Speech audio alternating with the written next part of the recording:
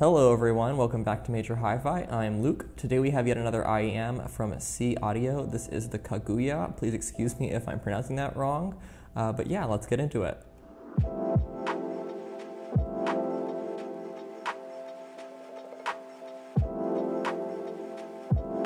So previously I reviewed See Audio's Neo, which runs for about 1100. Uh, the Kaguya runs for 1399, so a bit higher priced. These are of course both fairly high priced IEMs.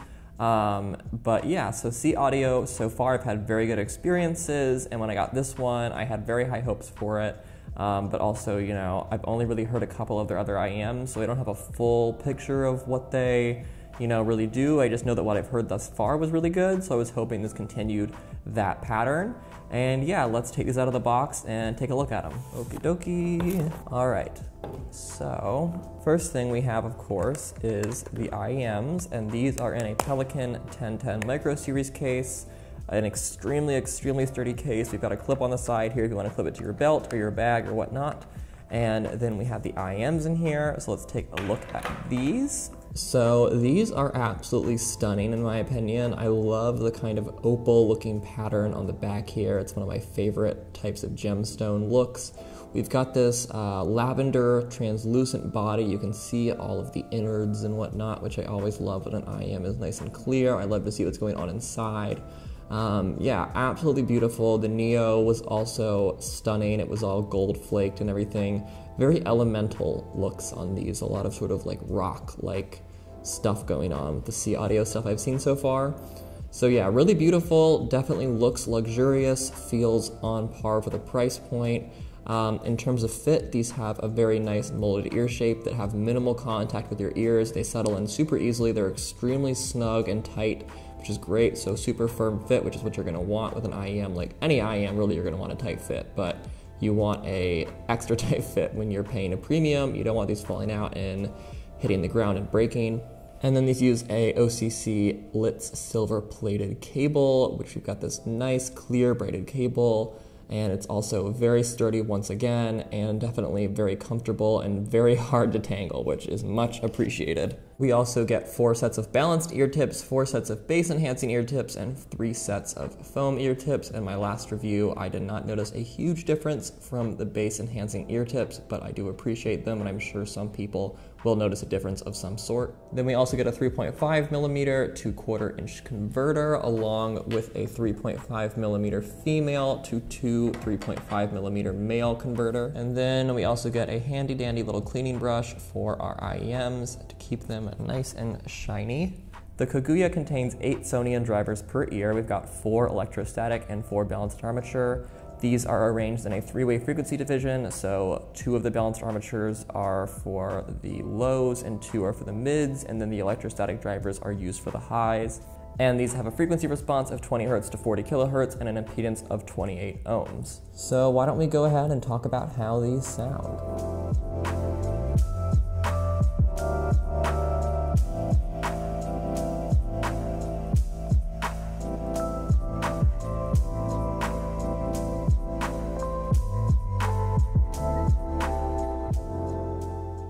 So for their soundstage, sort of similar to what I said in my review about the Neo, which I'll link below, these have a very intimate, realistic sound. The layering is very organic and the way that things are placed feels like that kind of you know, live performance uh, sound. They do a good job of taking reverb and room sound and background elements and using that to create a good sense of ambience and kind of immersiveness around the soundstage. And they definitely extend far past the normal amount of width that you can achieve with an IEM, and they do a great job of kind of bringing some extra life to even already really, really well mixed songs and will definitely give that extra bump up to any song that maybe needs a little bit of extra width. They're definitely anchored to the soundstage with a fair amount of that definition and punch and snap. So even though we do get a very airy sound, it's very pointed and kind of attack heavy, I would say. Um, so it's got a nice balance of that kind of like holographic sound, but also that very upfront kind of impactful feel. And like I said again, overall, that very organic in person feel that makes you sort of have this much more up close and personal experience with the listen. Um, so whether you're listening to acoustic or electronic, it just sort of brings things into a more organic space. Probably not the dampest sounding IEM with the way that it handles, uh, like I said, reverb and room sound, because it does definitely separate these out a bit from the rest of the elements. I enjoy this in the way that it kind of creates a new sense of space and a refreshing take on the song. But yeah, it's definitely a very uh, tight soundstage. And I would say its left to right, back to front feel is pretty equally balanced. It's not overly spread while underly represented in the sense of depth, or overly represented in the sense of depth, but then not spread enough. It's got a very equal, sort of balanced all around sound. There's definitely somewhat of a neutral character to the overall sound of the Kaguya, um, but it's sort of presented, like I said, with this light spin on things, sort of um, with the Neo, which I guess I'm going to come back to because there was definitely some similarities between the two. But it was kind of that thing of giving you a little bit of a new perspective on a recording or a song, um, and definitely, you know, embellishing it a little bit in a, in a very pleasant way that I thought um, definitely meets the standard of this higher price point.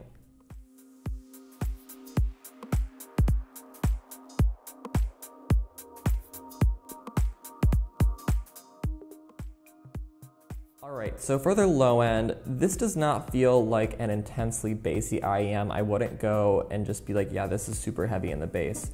It's probably a bit more contained, um, and a bit more controlled on the low end, but it does have the ability to reach further down into those sub frequencies if presented with them. So it's got the reach, it's got the range, but it doesn't generally have the leveling to really boost it up a ton. Um, I don't think it needs that generally because this definitely is going for that very clean, tight sound, like I said. So it's not really going to let the bass take the reins too often.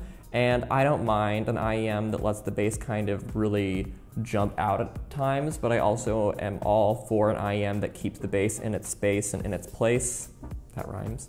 Um, yeah, but that keeps the bass kind of at bay and in one area pretty consistently, and that's what this does. So I listened to Bjork's All Is Full of Love. I've been coming back to this song with a number of IEMs. I've probably mentioned it in a review already because it's really great for a nice, clean, reliable bass sound. Um, you know, it's very sub heavy um, but also very well mixed. And also it's Bjork, so there's a lot of other cool stuff going on there for the bass to kind of interact with.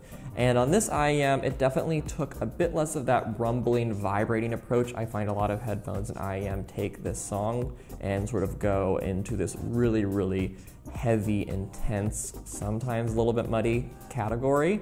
These definitely cleaned up the bass. They took out any sense of that really intense rumbling. They left a little bit of it just on the bottom layer there, but overall they definitely controlled it a lot as they expected. So they'll definitely give the low end a chance to breathe and to, you know, perform, but they're not going to let it breathe outside of its sort of predestined uh, area of the frequency spectrum, and they're not going to intensely boost where it does sit. There's probably a light boost going on, um, and they don't feel subdued in the low end, just neutral. So Neutral, very clean, very tight, definitely more so on the attack uh, heavy side than the release heavy side.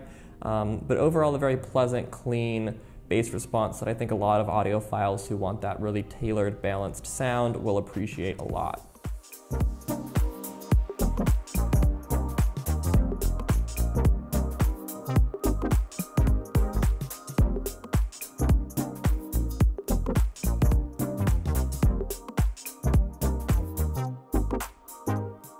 Hey guys, Luke here. Just wanted to pop in and say that if you're enjoying this video, it would be great if you could subscribe and hit the bell to get notified when we make new content, and hit the like button, and leave us a comment if you have any suggestions or questions or anything like that. I would love to talk to you guys more.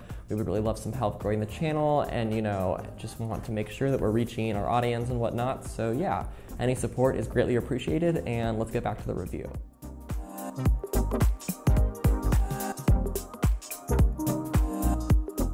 Alright, so the mid-range was one of my favorite parts of this IEM because it's definitely a little bit boosted, especially in the high end. That 1 to 2 kilohertz range is given some accentuation, and that is something that I find a little risky because those areas can bring out too much harshness if they're overdone.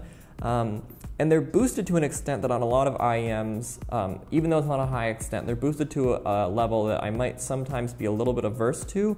Uh, but the way that it's handled and the sort of timbre in the mid range is so clean um, that it works. So that sort of light accentuation is actually really pleasant. And why I say light accentuation and I keep saying subtle light, it's because nothing on this IEM is like intense.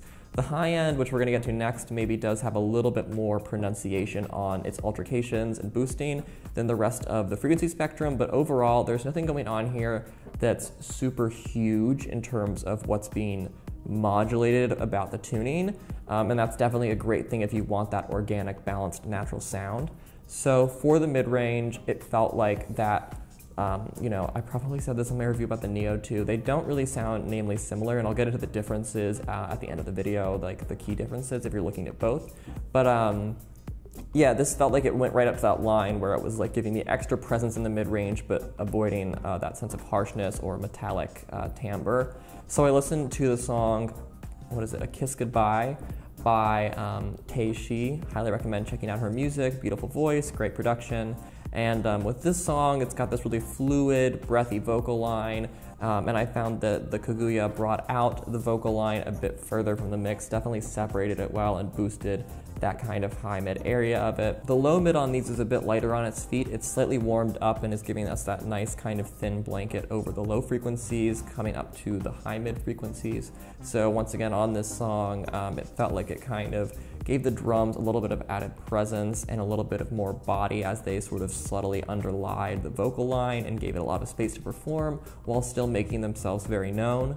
So yeah, I just gave the song an overall extra gratifying sort of pop to the percussion and a nice satisfying extra presence and forwardness to the vocals while pushing those sort of nice textural elements forward. Right, so for their high end, this is definitely a distinctly fairly bright IEM. There's a nice clear sense of shininess and um, glossiness going on in the high end. So especially with tracks that already have a lot of material to work with in the high frequencies, this is going to take those um, instruments or sounds or parts of instruments and definitely push them forward and give them extra definition. And similar to the mid-range, they're going to up that sense of texture and kind of breathiness, maybe poppiness and percussion, whatnot. Um, and that once again further contributes to the very organic, very natural, realistic sound of these by creating that nice, uh, pronounced crispness in the high end. So I listened to Waitress song by First Aid Kit, another great band to be listening to on any of your favorite headphones. Um, and sort of as I expected, this strumming sound of the guitar, the top end of the percussion, uh, you know, the pop of the snare, uh, the breathiness of the vocals were all just elevated and brought forward and made a lot more apparent. And I appreciated that despite this noticeable accentuation, it definitely retained that really smooth silkiness throughout all of these boosts, and that's very important to do if you're going to be boosting the high end a fair amount. So if you're looking for a brighter IEM, these do a good job of boosting those areas without creating a sense of hissing or metallic timbre in there. So yeah, definitely a really great, well-handled high end.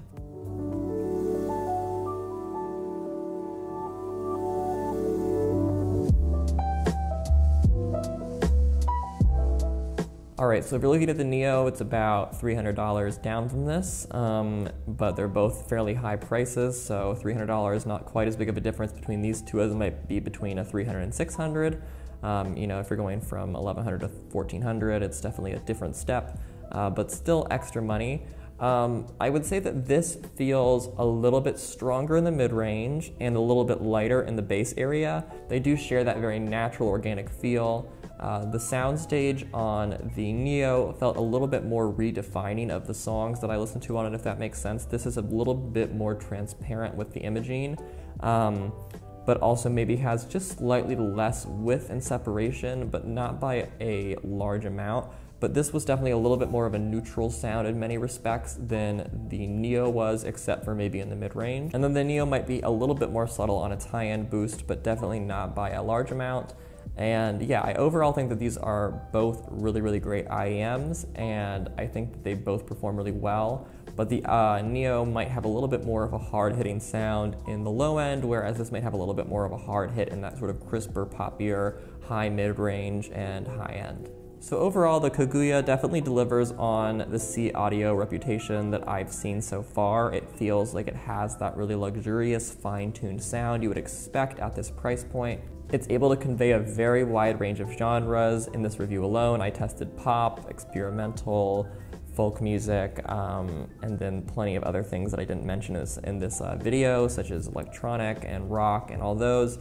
And it didn't seem phased by any particular genre, so it's very, very versatile, um, which is not surprising because of its more transparent, neutral sound and it's also just not phased by any sort of unconventional production techniques or compositions. And its ability to bring a sense of realism and extreme immersion and engulfment to a lot of songs is very impressive and not easy to do. Um, and that has been done here, in my opinion. So I think that this IEM is extremely impressive, as one would hope, um, for this higher price point. And I think that a lot of people are going to be head over heels for it.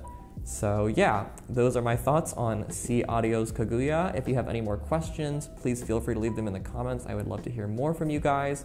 You can also post in the Major Hi-Fi forum. I will below link my written review of these per usual, and I'll also link to Major Hi-Fi's IEM ranking tool if you want to compare these to many other IEMs of similar prices or different prices or other companies or from See Audio. Uh, check out the ranking tool, it's really great. And yeah, I will be back very soon with some more reviews and videos. And until next time, happy listening.